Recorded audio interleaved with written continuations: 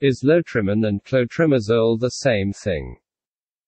Clotrimazole, sold under the brand name Lotrimin, among others, is an antifungal medication.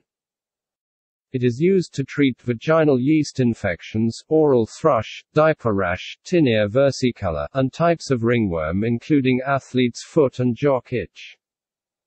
It can be taken by mouth or applied as a cream to the skin or in the vagina. Common side effects when taken by mouth include nausea and itchiness. When applied to the skin, common side effects include redness and a burning sensation.